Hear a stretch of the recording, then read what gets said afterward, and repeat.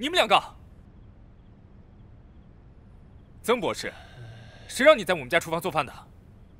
主人，繁星一号观察到您的食谱过于单一，不利于身体健康和心情愉悦，所以请来曾博士做厨艺升级，现在正在检测。有那个时间，你不如把繁星一号的唱歌系统升级一下，对我还有点用。繁星一号，给我倒杯水。是，主人。顾总，你不吃，那我吃了。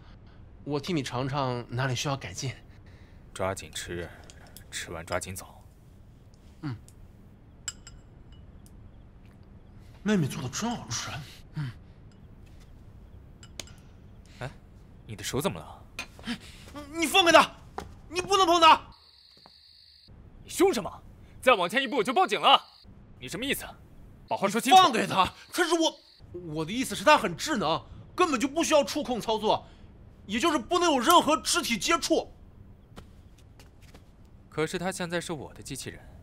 你只是试用，松手！繁星一号，谁是你的主人？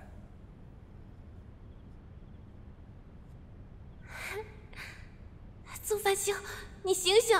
现在不是犯花痴的时候。可这让我怎么回答？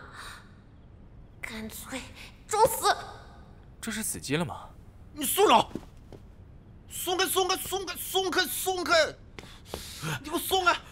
少爷，发生什么事了吗？啊，没事儿。好，少爷，你有什么吩咐，随时叫我。好的，草叔，你早点睡吧。啊。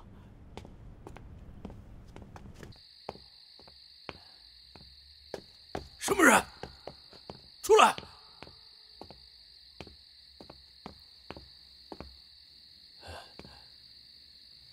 哎，这野猫一天天的就知道闯祸。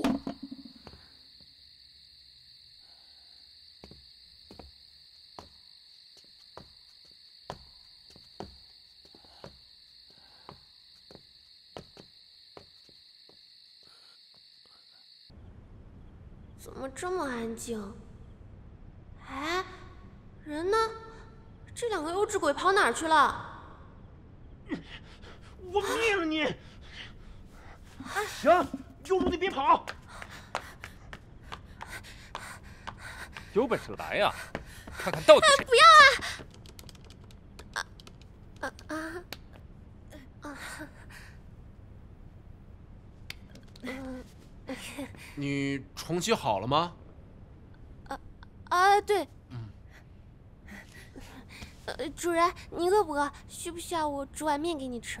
不饿，不吃。啊！我赢了！顾总，你要说话算话，不许反悔啊！好，我答应你。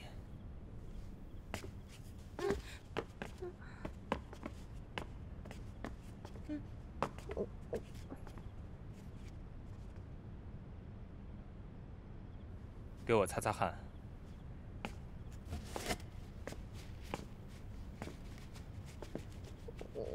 你不是答应我不碰繁星一号的吗？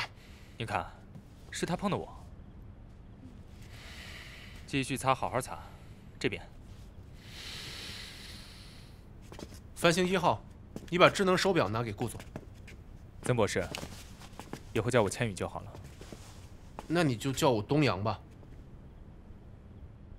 什么情况？这俩人还交上朋友了？这块智能手表呢？跟繁星一号手上的表是一对，方便你随时监测它的数据，还能远程传达一些指令。